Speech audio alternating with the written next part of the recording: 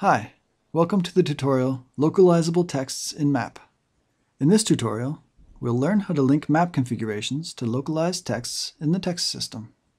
The Automation Studio text system allows you to manage localizable texts for the target system centrally in an Automation Studio project.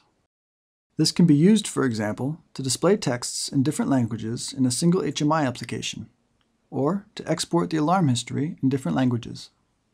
The following sample project explains how to use the text system in combination with various mapp components. The files needed to work with the text system have already been added. The file project language manages the languages that should be used. Various settings can be made in the configuration for the text system, such as which language and which text files should be used. If the file localizable texts is opened, all existing texts are displayed.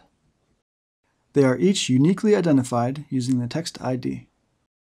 The configuration for mapp components allows them to link to a text ID in the text system. This enables them to display texts defined in the text system that depend on the language used instead of only static texts. The objective here is to localize an alarm message. A new text is added with the ID text temperature high. Next, the alarm text is added in German and English. Map text is the namespace for the text system.